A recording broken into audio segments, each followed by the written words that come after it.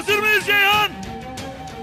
İşte Türkiye sevdalısı, işte milletimizin hizmetkarı, Başbakanımız Recep Tayyip Erdoğan. Hayatını milletine adayan, milletimizin hizmetkarı, Başbakanımız Recep Tayyip Erdoğan. Başbakanımız Recep Tayyip Erdoğan ve eşi Emin Erdoğan hanımefendiye hoş geldiniz, şeref verdiniz diyoruz.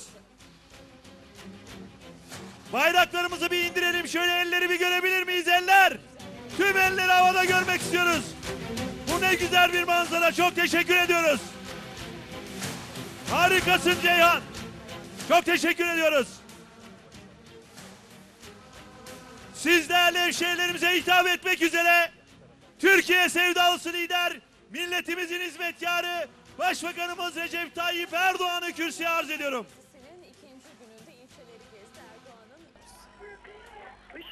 Sevgili Ceyhanlılar, çok değerli kardeşlerim, hanımefendiler, beyefendiler, sizleri sevgiyle, saygıyla selamlıyor. Bugün burada açılışını yapacağımız tesislerin Ceyhan'ımıza hayırlı olmasını Rabbimden niyaz ediyorum. Aysun Torun'a ilerleyen Kardeşlerim, dakikalarda Adana'da devam edelim. Başbakan e, dün de Adana'da Kardeşlerimizle buluştuk. Tetikleşme paketine karşı çıkanlara Ve yönelik eleştirilerini büyük bir Adana'nın coşkuyla Kozan ilçesinde de- kendileriyle kucaklaştık.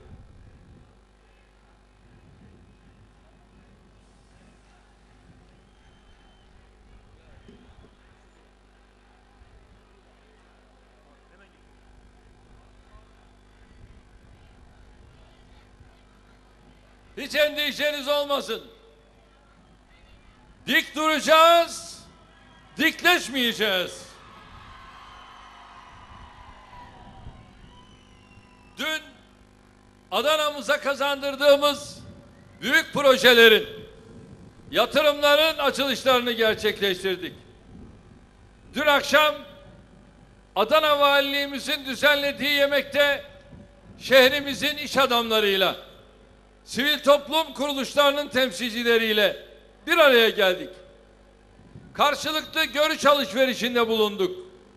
Bugün buraya gelmeden önce Kozan'da Kozanlı kardeşlerimizle kucaklaştık. 13 ayrı yatırımın açılışını gerçekleştirdik. Şimdi siz Ceyhanlı kardeşlerimizle buluşmak, kucaklaşmak ve Ceyhan'a kazandırdığımız 9 ayrı eserin hizmete açılmasını sizlerle birlikte o coşkuyu yaşayarak gerçekleştiriyoruz.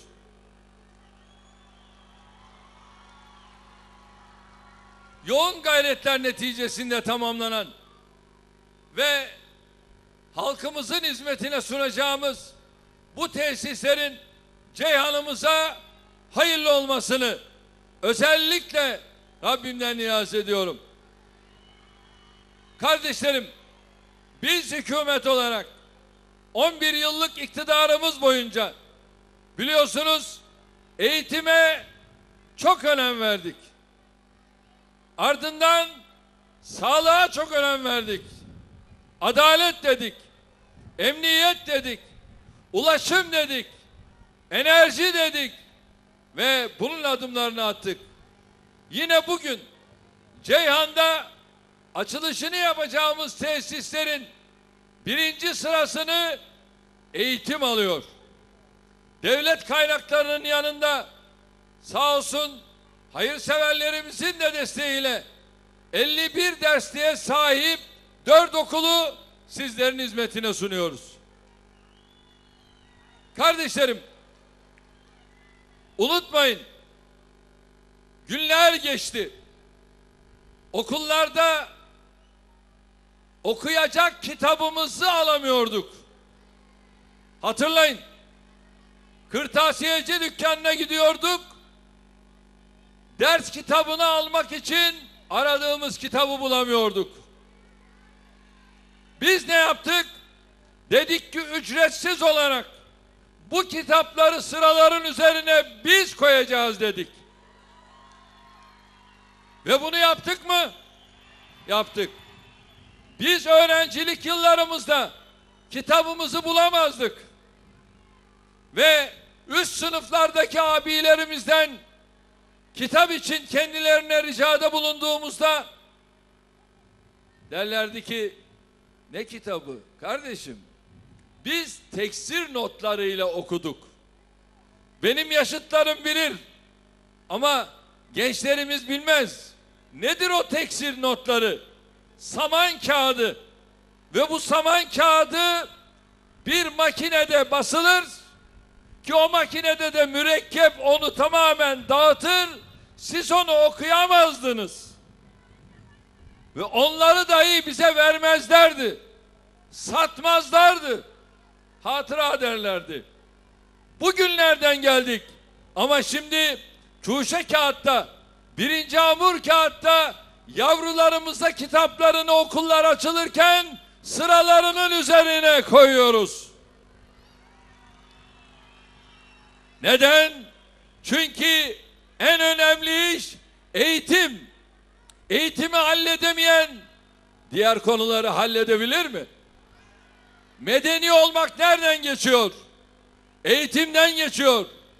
Eğitimde varsanız medenisiniz. Yoksanız gayrimedenisiniz. Onun için bakınız şu ana kadar hamdolsun derslik inşasında 81 vilayette yarışın içerisindeyiz. Bununla da kalmadık.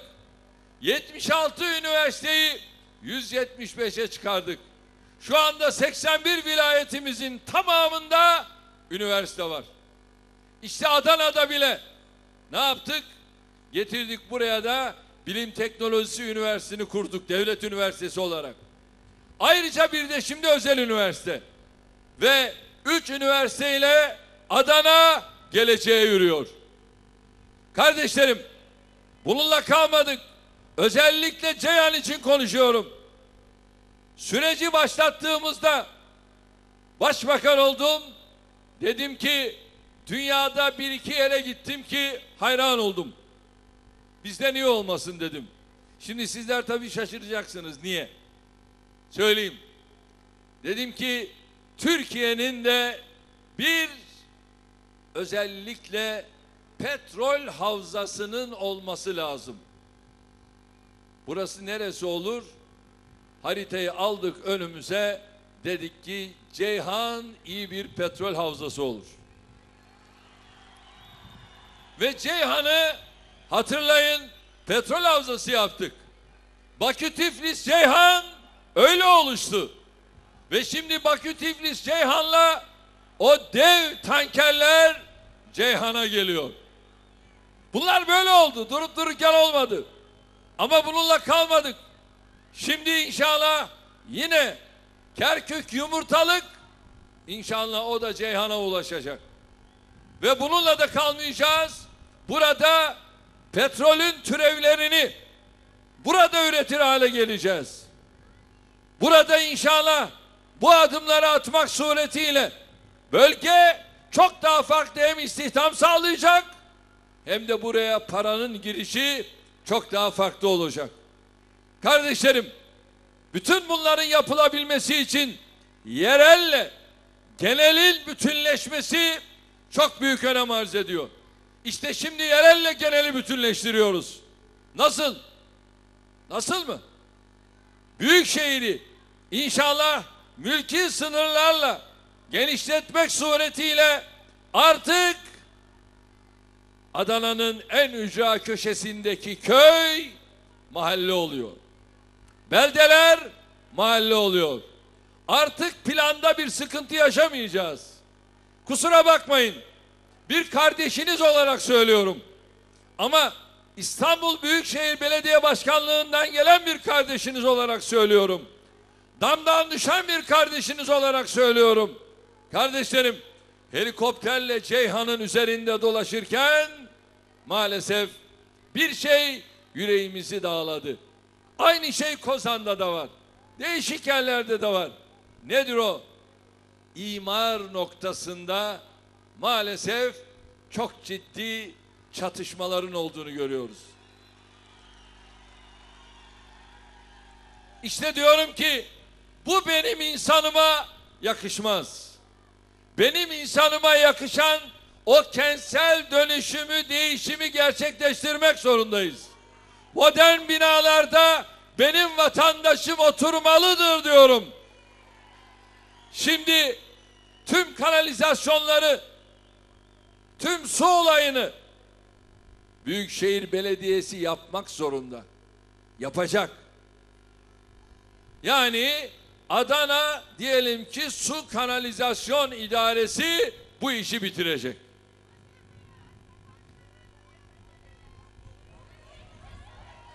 Sabırlı ol, sabırlı ol, sabırlı ol.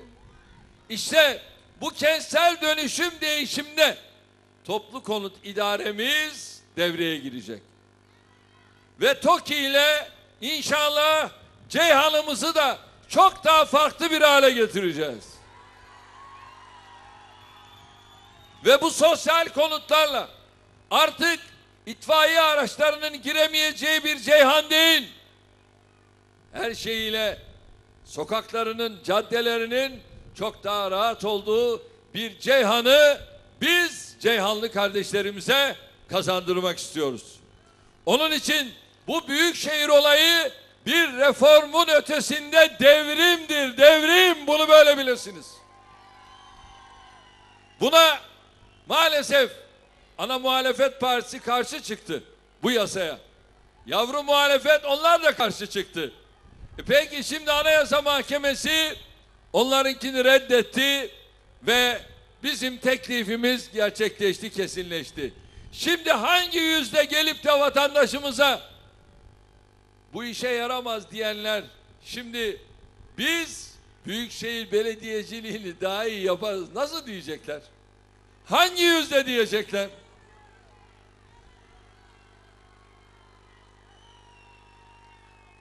Onun için diyorum ki el ele vereceğiz. Bir olacağız. İri olacağız. Diri olacağız. Ve hep birlikte Türkiye olacağız. Kardeşlerim, bugün gençlerimiz için, çocuklarımız için inşa edilen iki adet spor tesisinin de açılışını gerçekleştiriyoruz. Yine bugünkü törenle birlikte altyapıda önemli bir tesisi de hizmete alıyoruz. Kurt Pınarı kanalizasyon projesiyle Ceyhan'ın altyapı sorunları büyük oranda çözüme kavuşacak. Bir tarım şehri olan Adana'nın ve Ceyhan'ın ekonomisinde bildiğiniz gibi tarımın çok büyük önemi var.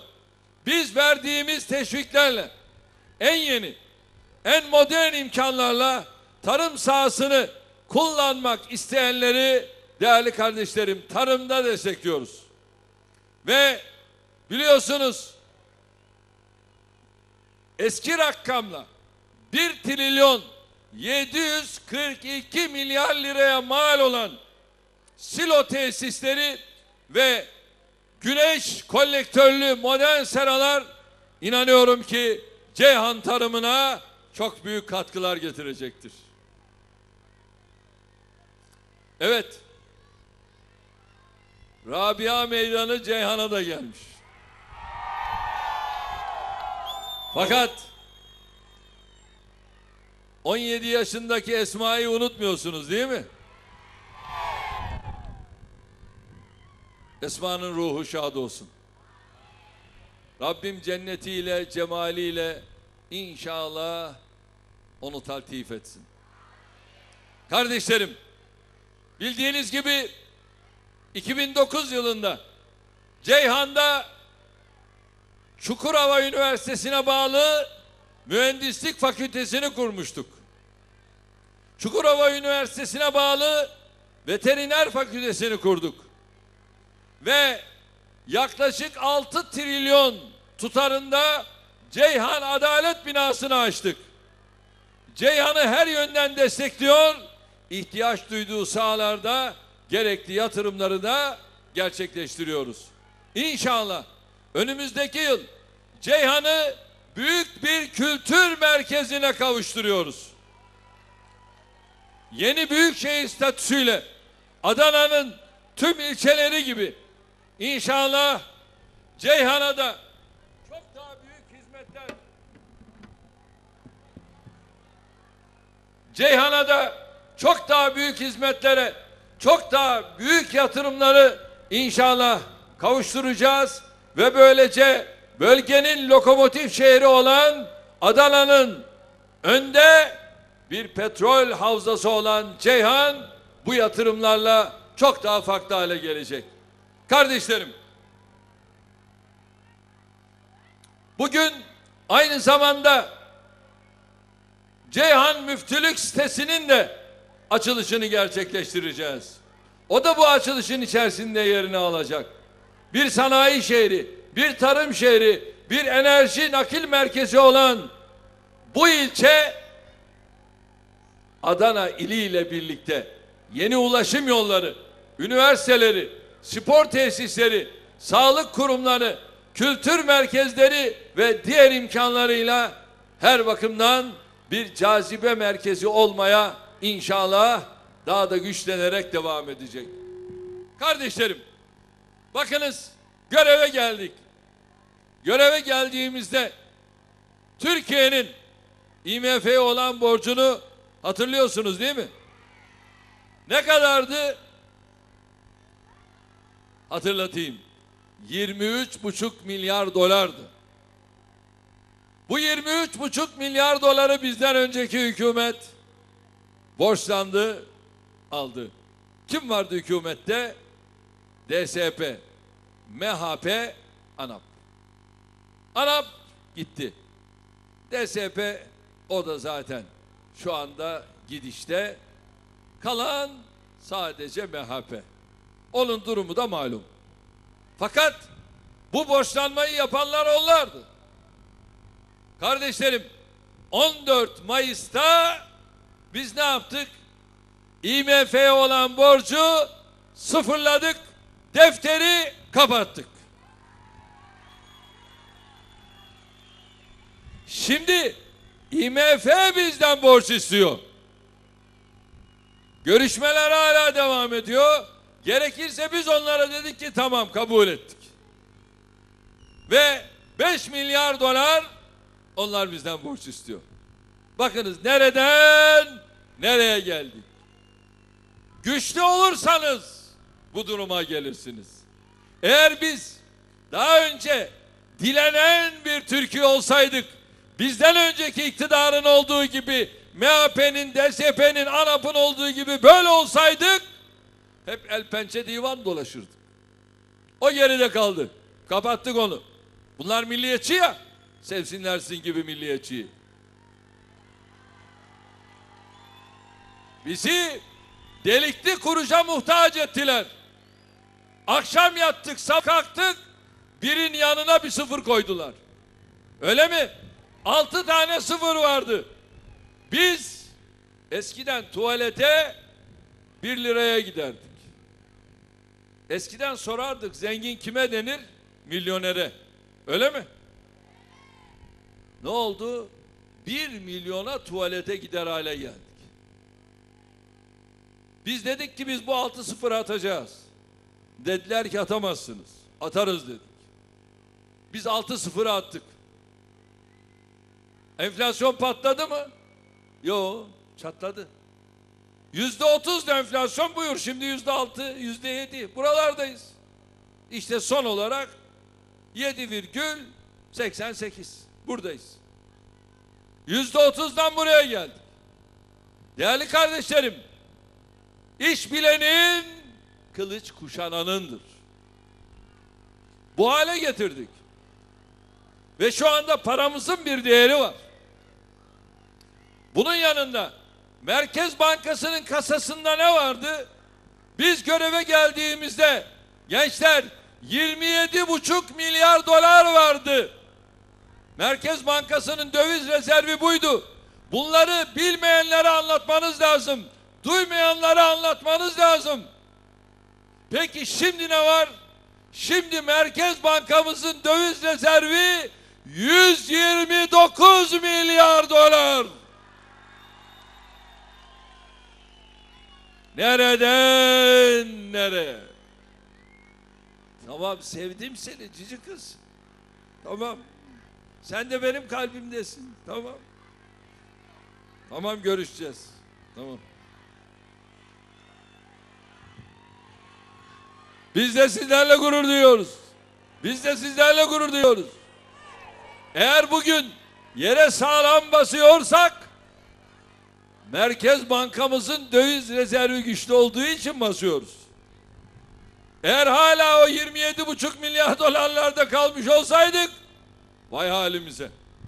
Ama hamdolsun çok çalıştık, gayret ettik ve buralara geldik.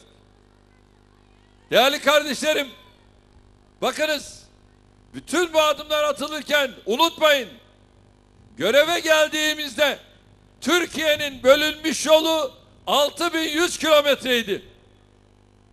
Biz buna 11 senede 79 senede 6100 kilometre bölünmüş yol yaptılar. 11 biz 11 yılda 17 bin kilometre bölünmüş yol yaptık. AK Parti iktidarı bu. Bununla da kalmadık. Bakınız göreve geldiğimizde 26 tane havaalanımız vardı. Şimdi 51 tane havalimanımız var. 26 havaalanı, 51 havalimanı. İşte bakın şimdi bölge havalimanı Çukurova yapılıyor değil mi? Yıllık yolcu kapasitesi ne olacak? 15 milyon. Ama 30 milyona kadar da büyüyebilecek. Ve bununla hem Mersin'e hizmet verecek hem de Adana'ya hizmet verecek. Mevcudu da koruyacağız. Ve böylece değerli kardeşlerim vatandaşımın herhangi bir yere gitme olayında mesafeler iyice kısalacak. Şu anda zaten azamisi 45 dakika. 30 dakika ile 45 dakika arasında havaalanına, havalimanına Türkiye'nin dört bir yanında benim vatandaşım ulaşabiliyor. Bakınız geçenlerde gittik Şırnak Şerafettin Elçi Havalimanı'nı açtık. Soruyorum 10 yıl önce denseydi ki ya Şırnak'ta havalimanı olacak. İnanır mıydınız? Soruyorum inanır mıydınız? Ben Şırnak'taki Kürt vatandaşlarıma onlara da sordum. İnanmayız dediler. Ama bak şimdi Şerafettin Elçi Havalimanı'nı yaptık. Bingöl'e yaptık. Aynı şekilde. Şimdi Hakkari Yüksekova'da yapıyoruz. Aynı şekilde. Yani burada bizim milletvekilimiz var mı yok mu biz böyle bir şeye bakmıyoruz. Biz neye bakıyoruz? 780 bin kilometre kareyle bu vatan Türk topraklarıdır. Türkiye Cumhuriyeti'nin tüm toprakları her türlü hizmeti alacaktır. Yola çıkarken ne dedik? Kardeşlerim biz Türküyle, Kürdüyle, Lazıyla, Çerkeziyle, Romanıyla, Gürcüsüyle, Abazasıyla, Boşnağıyla biriz. Beraberiz. Kardeşiz. Türkiye'yiz. Ve biz sizleri hiçbir ayrıma tabi tutmaksızın yaradılanı yaradandan ötürü seviyoruz. İşte şu anda 17 bin kilometre duble yolla 23 bin kilometreyi aştık.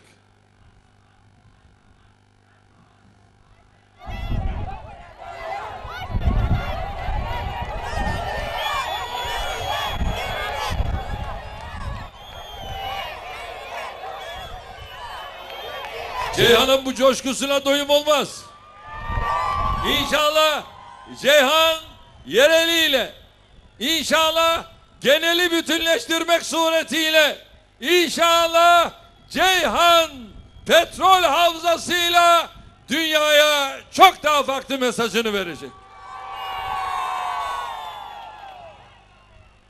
Kardeşlerim, bütün bunların yanında inşallah sizlerin desteğiyle bu kutlu mücadelede, bu kutlu yolculukta inanıyorum ki sizler bizi yalnız komadınız. Bundan sonra da koymayacaksınız. Ve ben bu açılışların Ceyhan'ımıza hayırlı olmasını diliyorum. İşte bakınız. Pazartesi günü bir açıklama yaptık. Neydi? Demokratikleşme paketi. Öyle mi? Ne vardı bu demokratikleşme paketinde? Bir, bakıyorsunuz ki ana muhalefet kalkıyor ikide bir bir şey söylüyor. Ne diyor? Bu yüzde onluk barajı indirelim. Peki nereye indirelim? Efendim işte yüzde sekiz olur, yüzde yedi olur, şu olur, bu olur vesaire. Başka ne istiyorsun? Efendim işte daha da aşağı inebilir filan. Bunlar dünyayı filan takip etmiyorlar. Bir defa ülkelerin bir istikrar politikası vardır. Bir güven politikası vardır. Türkiye tek partili iktidara kadar, bizim iktidarımıza kadar istikrarı ve güveni yakalayamadı. Koalisyon hükümetlerinde hep zarar ettik. Hep aşağı gittik. Ama bizimle istikrarı yakaladık ve onun içinde ekonomi olarak güçlendik. Peki dedik biz size üç tane teklif sunuyoruz. Bir, gençler, bir, dedik ki mevcut durumu koruyalım. Beğenmiyorsunuz. Size ikinci bir teklifimiz daha var. Nedir o? Barajı yüzde beşe indirelim. Daraltılmış bölge getirelim. Yani beşli paketler halinde Türkiye'yi 110 bölgede seçime sokalım. 5 de çarp 550 milletvekili. 3 bunu da beğenmediniz üçüncü bir teklif. Gelin barajı tamamen kaldıralım. Hiç baraj olmasın. Ama 550 bölge olsun. Ve her bölgeden bir milletvekili çıksın. Baktım ki şimdi buna da pek yanaşmaya niyetleri yok. Bundan da rahatsız olmaya başladılar. Şimdi yeni hesaplar yapıyorlar. Acaba şöyle olursa ne olur, böyle olursa ne olur? E kardeşim yani kusura bakma. Onu teklif ediyoruz yok, bunu teklif ediyoruz yok. Ha, şimdi biz oturacağız, konuşacağız, kararı vereceğiz ve o karardan sonra teklifi meclise getireceğiz. Değerli kardeşlerim, bir diğer konu. Bu ülkede başörtülü kızlarımız okullarda okuyabiliyor muydu? Üniversitelere gidebiliyor muydu? Hayır. Ya onlar bu ülkenin kızları değil miydi? Bu ülkenin evlatları değil miydi? Bu acımasızlık niye?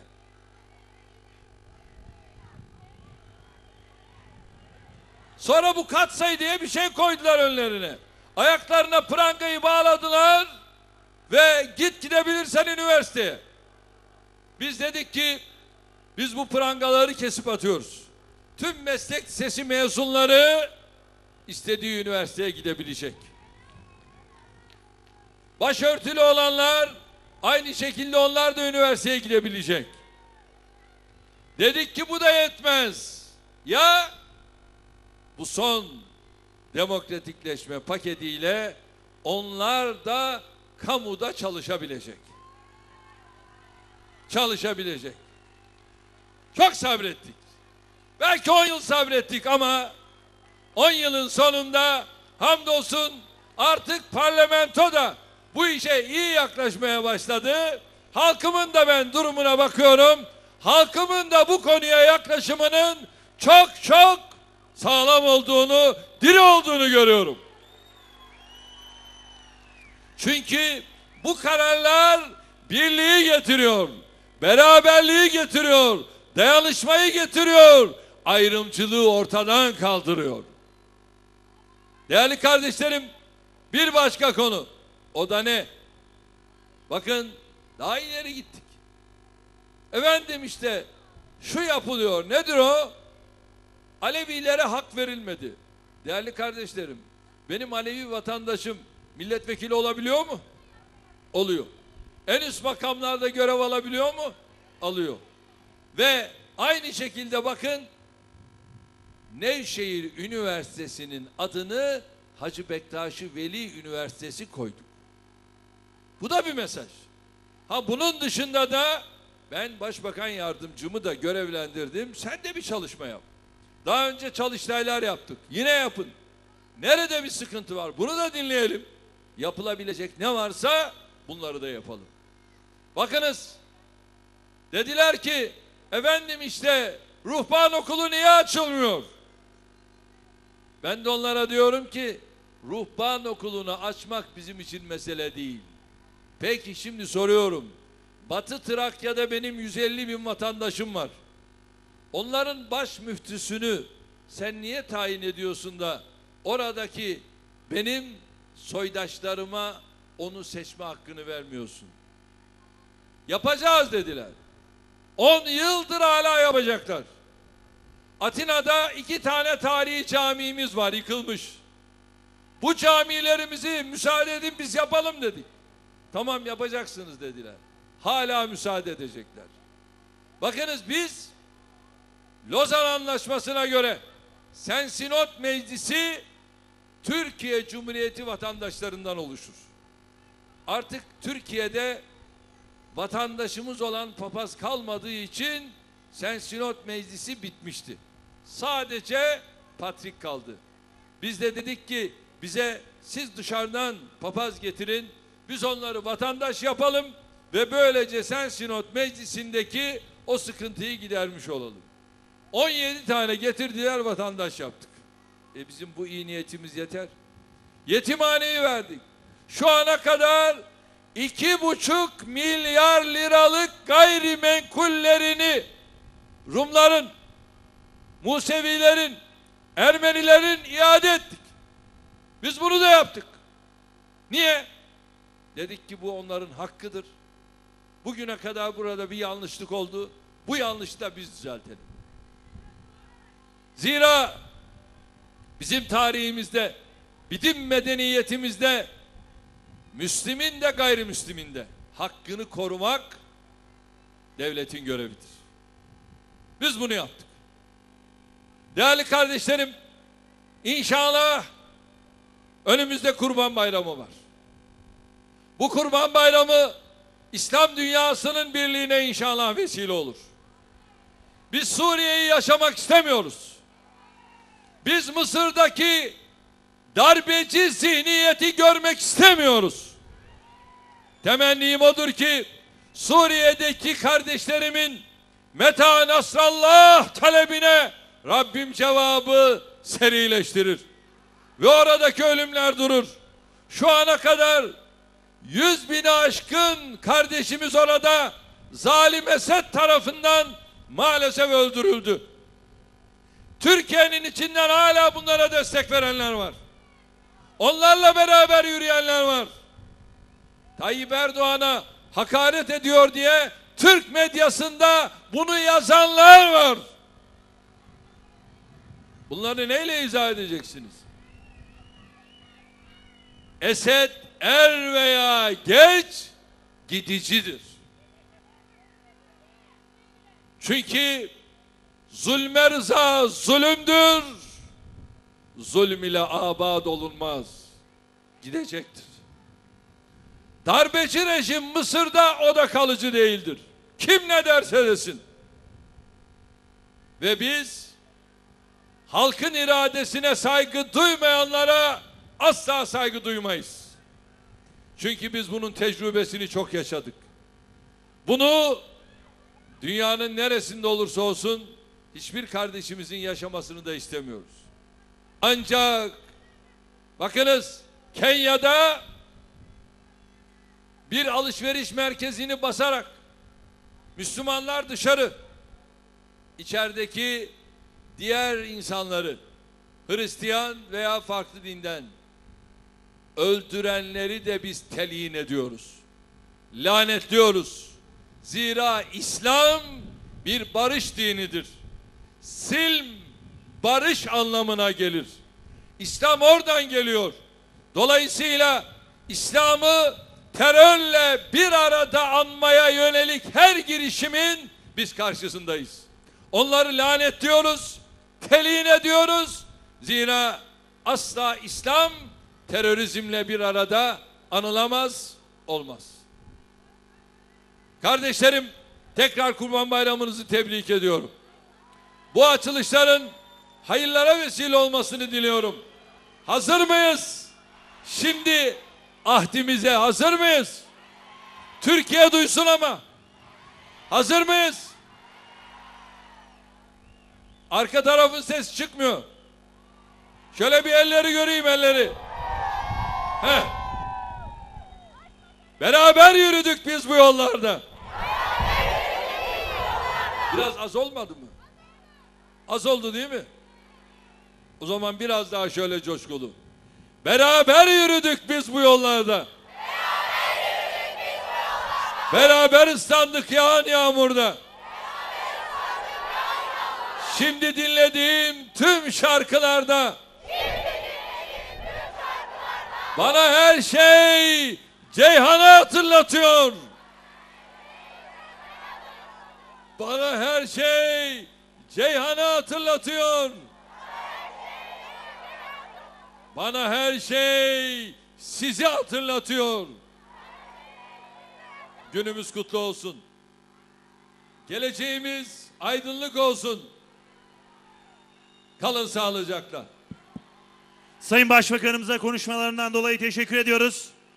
Değerli hemşehrilerimiz, Ceyhan'da yapımı tamamlanan tesislerin açılış kurdelasını Başbakanımız Recep Tayyip Erdoğan kesmek suretiyle siz değerli halkımızın hizmetine sunacaklardır. Sayın Başbakanımıza refakat etmek üzere saygıdeğer hanımefendiyi, Avrupa Birliği Bakanı Başbucak Gericimiz Sayın Egemen Bağışı, Aile ve Sosyal Politikalar Bakanımız Sayın Fatma Şahin'i, Enerji ve Tabii Kaynaklar Bakanımız Sayın Taner Yıldız'ı, Kültür ve Turizm Bakanımız Sayın Ömer Çelik'i, Milli Eğitim Bakanımız Profesör Doktor Sayın Nabi Avcı'yı, Orman ve Su İşleri Bakanımız Profesör Doktor Sayın Veysel Eroğlu'nu, AK Parti Genel Başkan Yardımcısı Ankara Milletvekili Sayın Haluk İpek'e, Adana Milletvekilimiz Sayın Necati Çetinkaya, Adana Milletvekilimiz Sayın Necdet Ünüvar, Adana Milletvekilimiz Sayın Fatoş Gürkan, Adana Milletvekilimiz Sayın Ali Küçükaydın, Adana Milletvekilimiz Sayın Mehmet Şükrü Erdinç, Mersin Milletvekilimiz Sayın Çiğdem Ökten, Elazığ Milletvekilimiz Sayın Selmin Balık, Osmaniye Milletvekilimiz Mehmet Kastal, Osmaniye Milletvekilimiz Suat Önal, İstanbul Milletvekilimiz Enver Yılmaz, Şanlıurfa Milletvekilimiz Mahmut Kaçar, Başbakanlık Müsteşarımız Sayın Efkan Ala, Adana Valimiz Sayın Hüseyin Avni Coş, TOKİ Başkanımız Ahmet Haluk Karabel, AK Parti Adana İl Başkanı Sayın Ziyaettin Yağcı, Ceyhan Kaymakamı ve AK Parti Ceyhan İlçe Başkanı'nı sahneye davet ediyorum.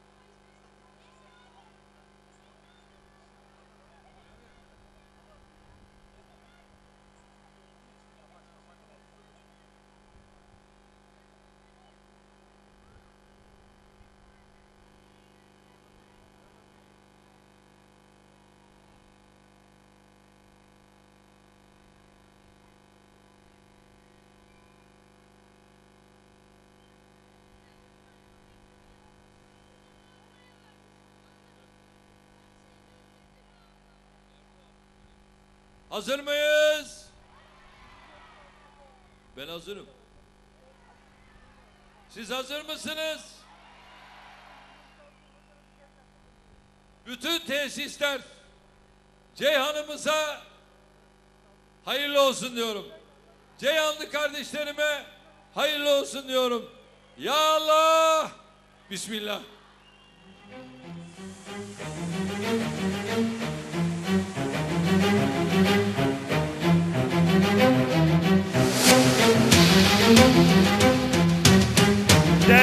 Konuklar, saygıdeğer hemşehrilerimiz, Ceyhan'da yapımı tamamlanan eserlerin toplu açılış merasimi burada sona erdi. Açılış törenini katılımlarıyla onurlandıran başta Sayın Başbakanımız ve saygıdeğer hanımefendi olmak üzere tüm konuklarımıza ve siz değerli hemşehrilerimize çok teşekkür ediyoruz. Gününüz aydın, geleceğiniz umutla dolsun. En güzel günler sizlerin olsun. Sağ olun, var olun.